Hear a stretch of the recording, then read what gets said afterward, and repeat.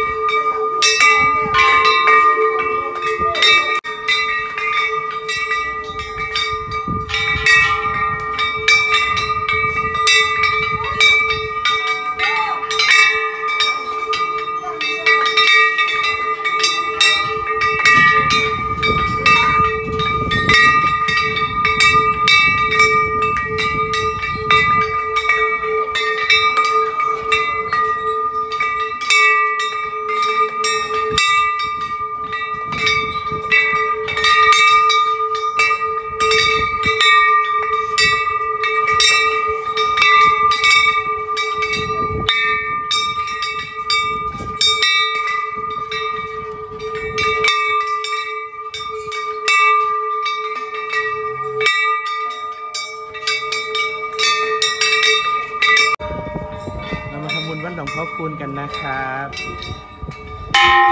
ก็มีทำบุญดอกไม้ทูบเทียนนะครับ แล้วก็ตีละครั้งมีชื่อเสียงนะครับสวัสดีครับที่เพื่อแดนนะครับแต่วันนี้จะพามากราบหลวงพ่อคูณวรสุทโธนะครับ ที่วัด